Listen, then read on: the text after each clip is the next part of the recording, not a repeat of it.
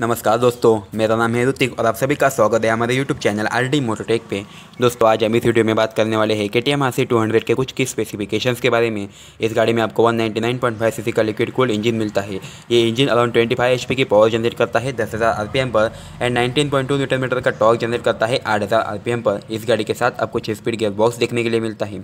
इस गाड़ी के फ्रंट में one ten upon seventy radius seventeen के टायर देखने के लिए मिलते हैं, और उसके साथ तीन सौ मिलीमीटर का फ्रंट डिस्क ब्रेक दे दिया गया है। रियर की बात करें तो रियर में one fifty upon sixty radius seventeen के टायर दे दिए गए हैं और उसके साथ टू थर्टी मिलीमीटर का रियर डिस्क ब्रेक अवेलेबल है। इस गाड़ी में नाइन पॉइंट फाइव लीटर का फ्यूल टैंक मिलता है। इस गाड़ी की ground clearance around one seventy eight point five millimetre की है एंड इसका wheel base one thousand three hundred forty millimetre का है।